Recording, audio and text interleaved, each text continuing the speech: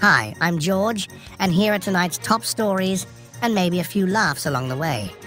First up, Shawn Mendes is spilling his heart in his latest single, Why, Why, Why, where he talks about a recent pregnancy scare. Talk about a plot twist. Just when you thought Mendes was only giving us hits, he's out here giving us heart palpitations.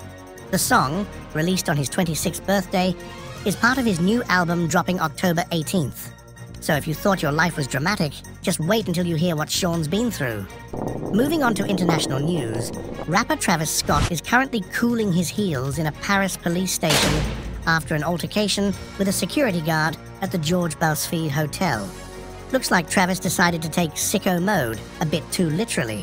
While the situation is still under investigation, if you're in Paris, you might want to steer clear of the hotel lobby.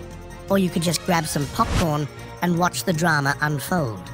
And finally, in the world of celebrity friendships, Sabrina Carpenter is setting the record straight. She says she did not need Taylor Swift's permission to pose for Kim Kardashian's Skims campaign, despite the years long beef between Taylor and Kim. Sabrina's message you can love your best friend and still rock some Skims. Now, if only friendship dramas could be solved with a few selfies in stretchy lace. And before we go, if you're looking to catch any of these stars in action, hopefully not in a Paris police station, you can grab your tickets now at geturtix.com. Because let's face it, the only drama you should be caught in is trying to decide which concert to attend next. Thanks for tuning in, leave comments, and keep rocking with us for more updates. Find all links and 20% promo code in description.